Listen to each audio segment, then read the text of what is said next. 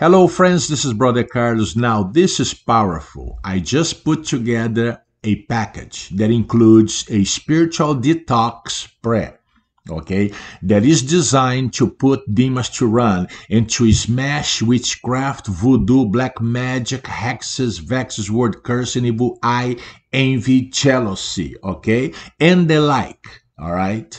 Now, as part of the package, I also included three videos that are also designed to help you become stronger spiritually. Anytime the devil throws, you know, witchcraft at you, the witchcraft is going to fall flat to the ground. Amen. Because you are now building spiritual muscles. You are now becoming stronger spiritually. Praise God. Also, this package will also help you to boost healing in your body. Praise God. Hallelujah. You owe it to yourself to request it from my website.